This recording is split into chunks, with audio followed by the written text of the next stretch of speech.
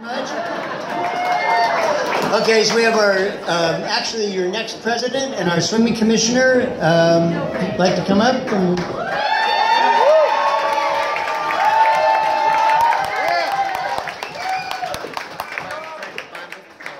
So I thought, well, since the handball has had two awards, I think we should have two awards in swimming as well. Yeah. So I'd like to propose the best swimming commissioner ever, me. me.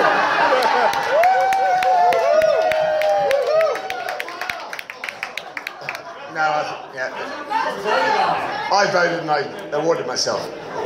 But you know, it was a very, very tough decision to choose swimmer of the year this year.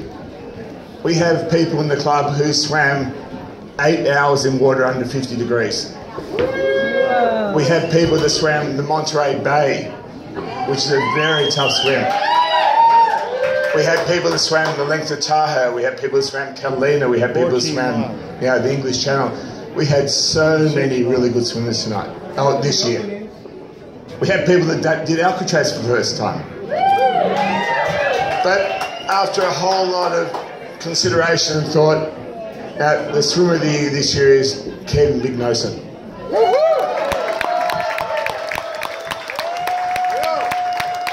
I would also like to accept that award. Thank you very much.